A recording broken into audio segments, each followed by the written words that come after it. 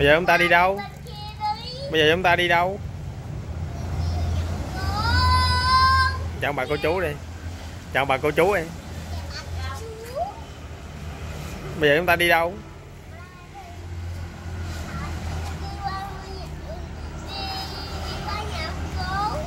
À. Dạ à. Đây, chào các anh chị và các bạn à, hôm nay à, sẽ, à, miền quê là ngày à, mùng 3 Tết.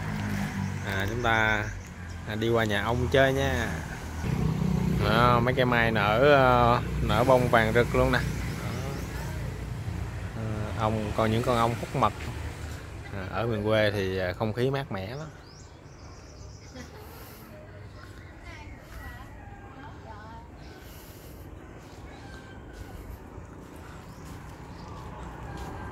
Mày bán trứng không mà Hả? Bán hả? Không vô nội chơi. Rồi, à, à, Hôm qua là mùng 2 thì em có về quê rồi. À, Hôm nay là mùng 3 thì mới bắt đầu đi à, vòng vòng chơi rồi. À, Mùng 4 Chiều mùng 4 chúng ta lại à, lên Sài Gòn. À, Trước khi về thì em à, quay vài hình ảnh dưới quê gửi bà con cô bác xem chơi cho vui nha Bây giờ thì à, em dẫn Nị và à, bạn đồng nhỏ đi à, qua nhà ông, ông nội chơi. Nhà ông nội thì cách nhà em cũng khoảng vài trăm mét thôi. À, thẳng con đường này là chúng ta sẽ đến à, thị xã. Thị xã cái lậy. À, nhà của anh Nhật nè. À, à. nhìn mát mẻ ghê chưa? À, phía trước có một hàng bông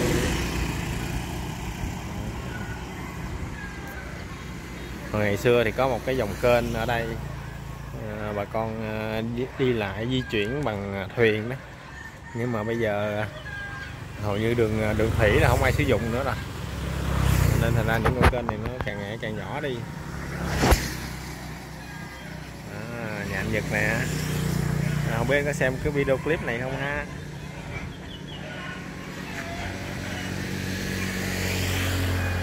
à, Tết ở Việt Nam thì dạo này cũng ờ, đơn giản thôi.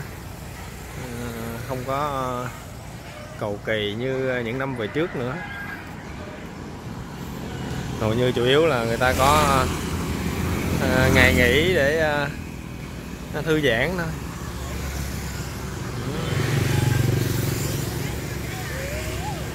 Đó, vô đây chúng ta vô con đường con đường làng này là dòng kênh này có những à, ngày xưa thì không có nhiều cây cối à, cỏ mọc um tùm gì đâu. Ngày xưa thì một đường thẳng à, nước trong nha nước trong với hơi nước đen tại vì rong rong mình thấy nó nó tối tối. Nha chứ thực ra nước trong ở đây nước phù sa không à. à chứ không phải những dòng kênh ở ở thành thị nhưng mà nước này thì không có sử dụng để ăn uống chỉ để rửa thôi. À, thẳng con đường này thì vô những cánh đồng có những khu vườn. À, qua đây nhà ông nội nè. Ở dưới quê thì nhà cũng đơn giản thôi. Nhà hai mái. À, chứ không phải nhà hợp giống như ở thành thị. À, được cái cây cối nhiều à, hoa kiển cây trái. Ồ, đi về con chó nè. À, lâu quá lâu quá không ghé nó lạ. Ồ, cây bông giấy màu cam.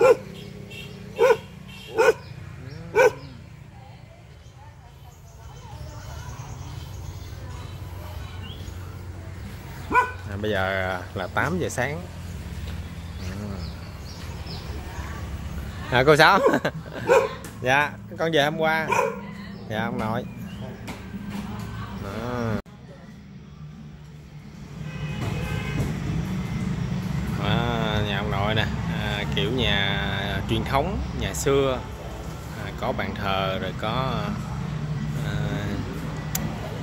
cái này kêu bằng cái à, liễn thì phải.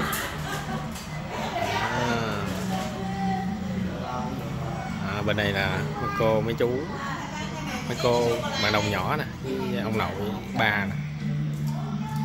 À, làm gì đông chậu cứng quá. À.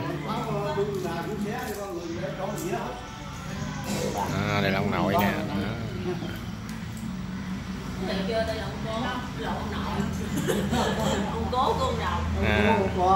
Đó.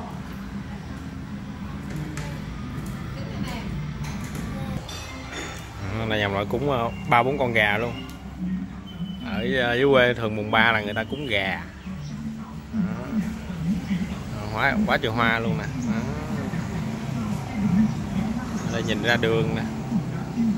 À, đường hướng về à, Bến Tre đó. Bên trái ta là đi thẳng ra à, Ngũ Hiệp à, vườn trái cây Ngũ Hiệp đi qua chợ lách Bến Tre luôn. Còn hướng bên phải là đi ra thị xã Cai Lậy à, cách đây khoảng à, vài km. Không nói.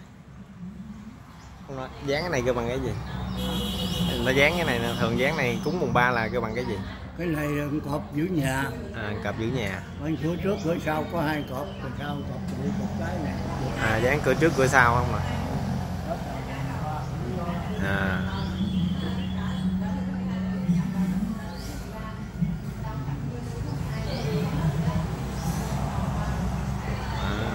ba cúng xong là à, sẽ dán cái à, miếng này nè à, theo truyền thống vậy thôi.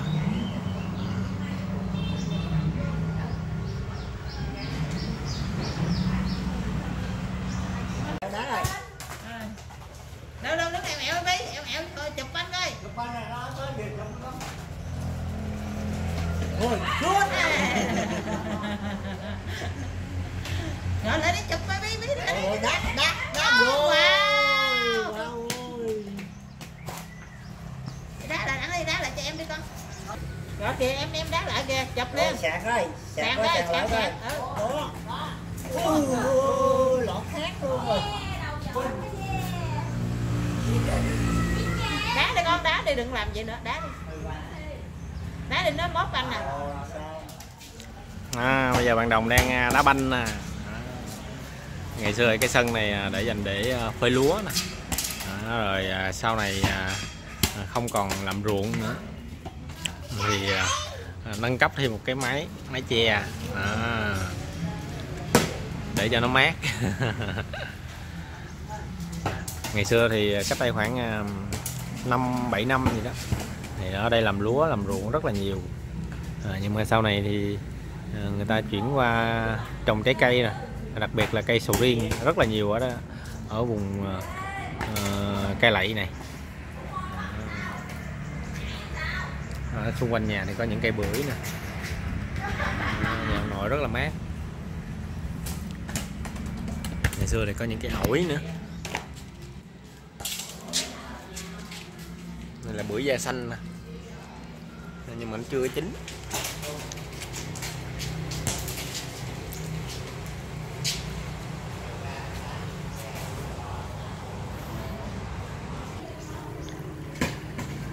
Đó, kiểu nhà dưới quê nè.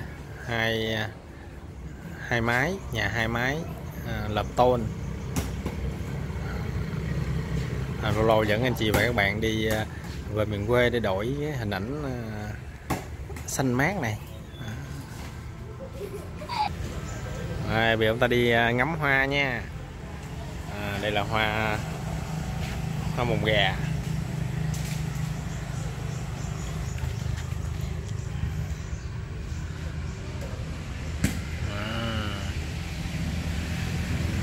Trồng cách tự nhiên. Ngộ mỗi khi à, mùa xuân tới là à, hoa hoa nở đặt rật hết. Đi đâu cũng thấy hoa hết. Đủ loại hoa nè. Loại hoa trăm ổi nữa nè. Hoa trăm ổi nè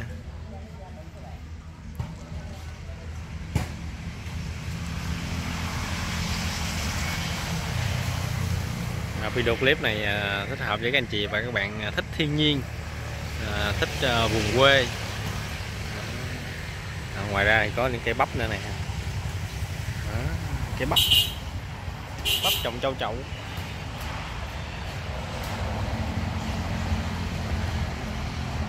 Ừ, trước sân nhà ông nội nhìn vô.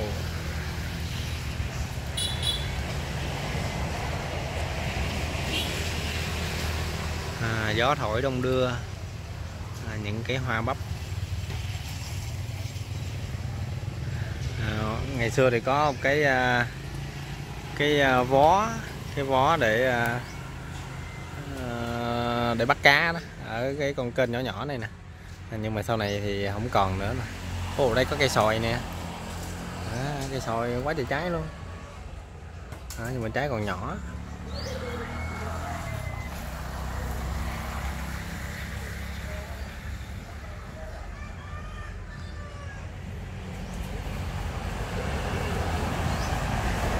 À, chút xíu nữa chúng ta sẽ lên nhà ông ngoại à, để xem hình ảnh à, trên nhà ông ngoại thế nào ha. Trên nhà ngoại thì không có nhiều xe cộ à, cũng như à, hoa kiển như ở đây. Nhà ngoại thì đơn giản hơn. Ồ đây có cây ớt nữa nè. Ồ, ớt ớt này mọc tự nhiên á rất là thơm rất là ngon rất là cay luôn. Ớt này không có lớn nhỏ nhỏ nhỏ nhỏ vậy thôi ta gọi là ớt hiểm à. nhìn mát mắt nha.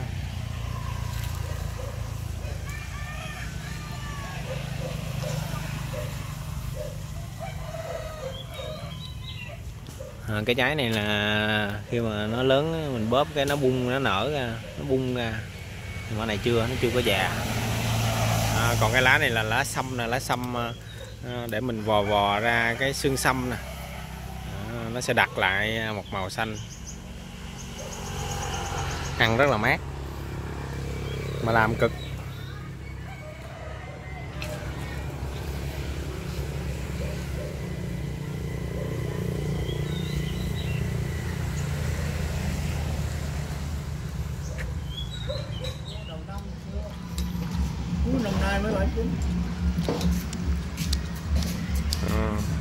Cá lóc đồng. Đựng đá trong nhà con lên đây. Này chảo cá lóc. Mà này ăn gì bạn này? Giờ này bà đi ăn cá. Nãy bên nhà gọi cá. ăn đi con? Lại đi. Ăn đi, ăn tự nhiên ăn đại đi. Dạ. Cháo ngon bữa nay là nguyên ngày ăn cháo. Sáng ăn cháo gà giờ ăn cháo cá Để cho lạ cho à, thì mình đi gấp anh nha à, được rồi. Chấm muối ớt. À, mời bà con nha. Đá đi lát bi ra đá với mày vừa. Ừ. Sao cho nó ngủ được chứ. Cá rất là ngọt. Nó là cũng ngon nó cũng quay quay rồi dữ lắm. Cái chén này không ai. Để thương con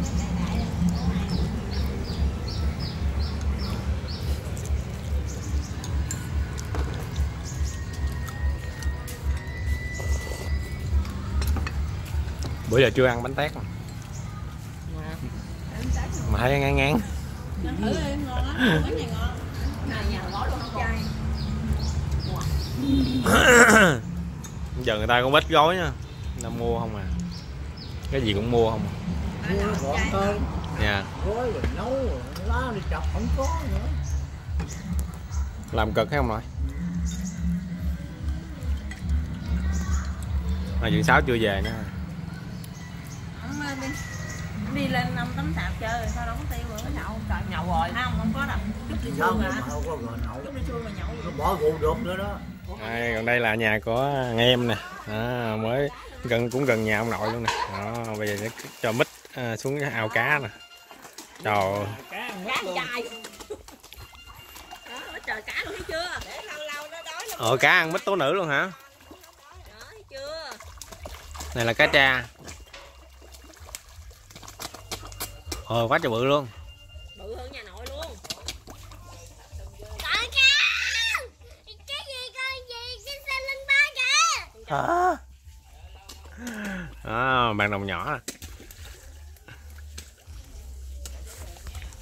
thôi à, đồng để chú làm cho. À, những trái mít này bị à, hư á long. Rồi em để vậy cho nó, nó ăn á hả? Để cho nó mềm da rồi. À chỉ hư cái hư cái vỏ thôi còn cái ruột thì nó còn nguyên. Ui đã không? Con lên cho nó cưỡi con nha. Nó, nó càng đen như nó càng dễ ăn. À, nó mềm á ha.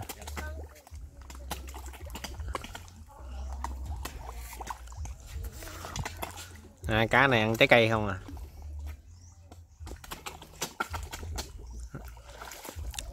Nước xanh giống nước biển quá ha.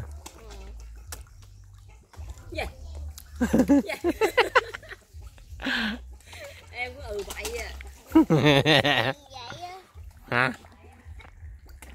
Đó, nguyên ao cá luôn. Quá trời. À, ở đây. Ở đây là nhà của em uh, chuyên trồng mít. À, chuyên mua bán mít luôn à, mít tự nhiên. Đó những cây mít này có trái nè. Ai về miền tây mà thích ăn mít nó liên hệ với em long này nha. Số điện thoại liên hệ với lâu không có số điện thoại. Thông qua vinh lâm tv đi tivi à, làm tivi đó, mình đi một vòng vườn nữa đi vòng đi. Đi đi đi. Ủa vườn mít của em đâu long?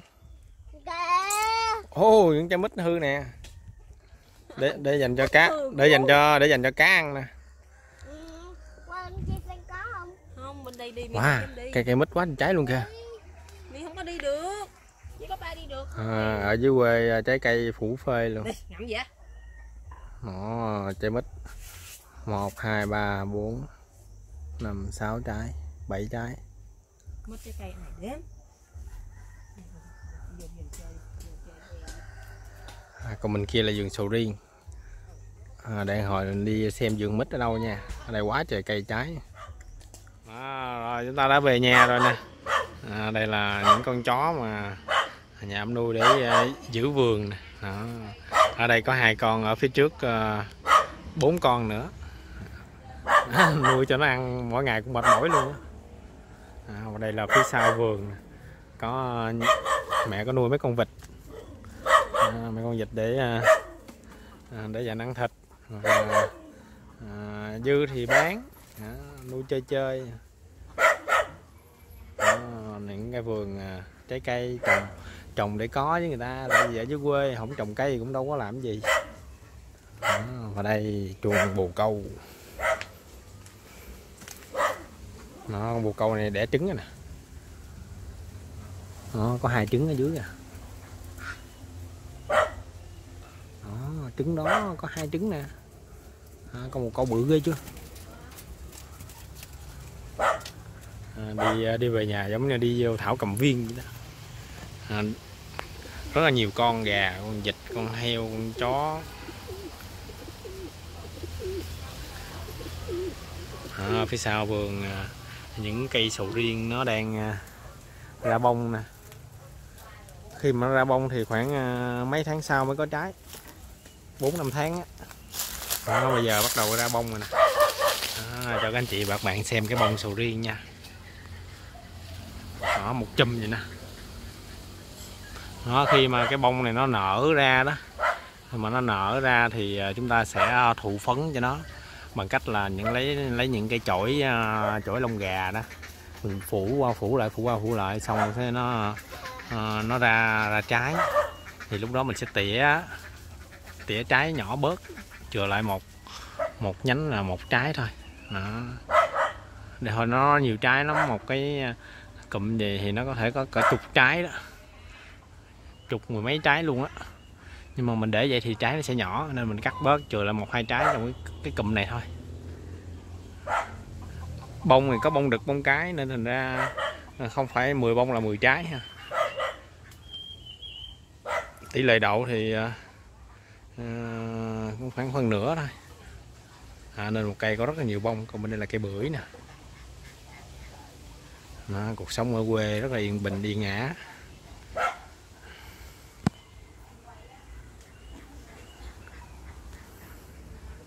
Ở đây thì có nuôi cá nữa nè.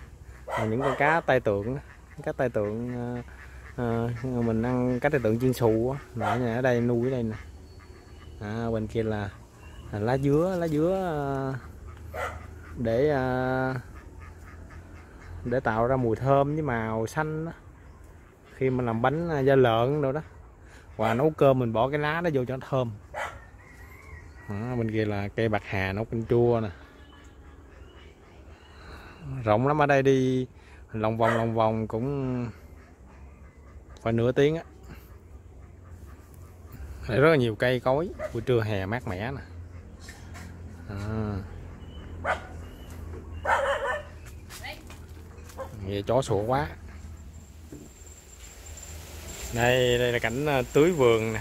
À, tưới vườn à, thời hiện đại. Không còn cảnh à, múc gào tát tát tát nữa à, bây giờ ghim điện à, motor. À, rồi mình dẫn ống nước đi khắp vườn. Đó, nước phun tung tóe. Mỗi gốc cây là một cái à, mỗi gốc cây là một cái à, vòi nước. À, nó xịt ra thế này nè. À, mát mẻ. Phun đều cái vườn luôn á. À, mình đặt càng nhiều ống thì à, nước càng đều. À. mình chỉ tiện đi đi thăm vòng vòng thôi. Xịt ra là giáp vườn này luôn hả mà à, một phần rồi à, mở từ từ clip ha hết đâu đủ à, không đủ sức ha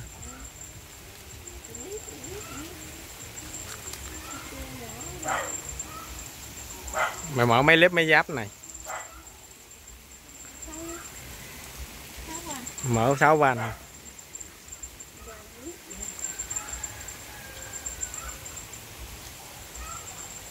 Trong này bà nuôi con gì?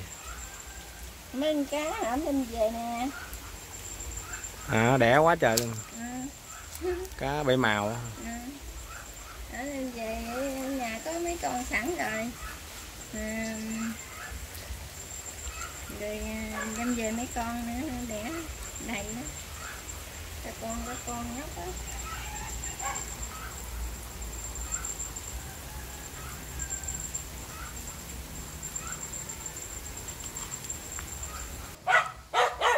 Đó, bên đây nữa nè. À, ống nước dài dài dạ, dài dạ, dài dạ, dài lên trên kia. À, ở đây có cây mít à, cây sầu riêng rồi cây tắc rồi cây chuối. À, nói chung là vườn tạp đó. còn trồng một loại người ta gọi là chuyên canh. À, con chó này ồn quá. Im lặng xem nào. À, một số hình ảnh ở quê nhà à, gửi bà con cô bác xem chơi cho vui nha. À, lâu lâu mình đổi à, à, đổi màu sắc à, đổi không khí của vùng quê. À, thay vào đó à, thay vào những cái hình ảnh của Sài Gòn ngột ngạt. Rồi bây giờ thì xin chào và hẹn gặp lại nhân dịp năm mới. Cũng kính chúc toàn thể của chú anh chị và các bạn. Một năm mới an khang thịnh vượng vạn sự như ý. À, tưới cũng xong rồi. Rồi bye bye bye các anh chị rồi em ta đã về tới nhà rồi nè. À, một ký tôm là mười mấy con. À, bây giờ nướng nè bếp lửa hồng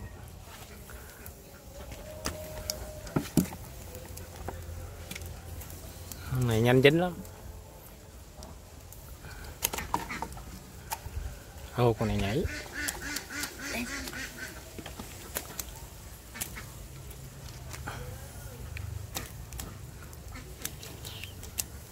Nóng quá nó nhảy. Ơi trời ơi.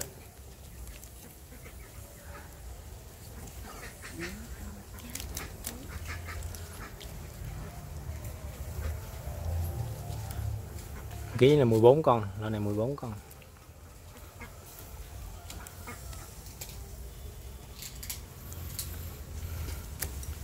Tôm này là tôm gì mà? Tôm xanh. Tôm càng.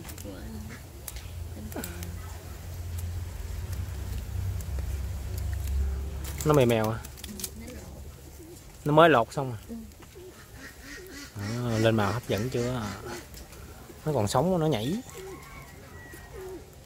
Này ở dưới quê lửa than nhiều lắm. Là than là từ những cái à, cái vỏ dừa đó. À.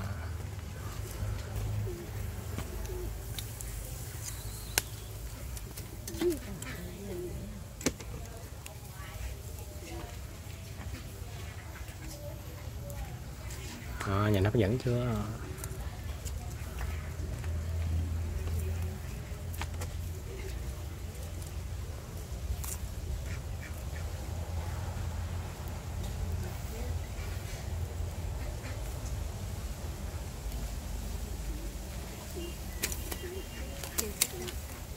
Con này nó mạnh. Này để con đè nó chín chết.